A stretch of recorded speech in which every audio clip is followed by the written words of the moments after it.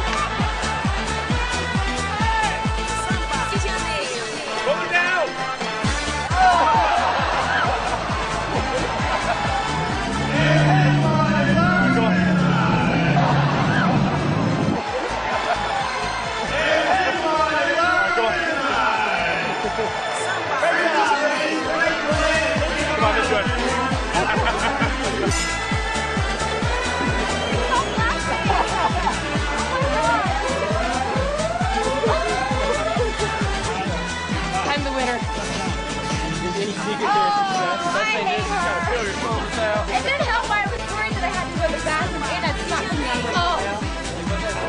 I don't know what the hell just happened. It was so fast. Was it an upset? It was or very did you fast. See that coming? No, I thought Angela was a pretty scary person.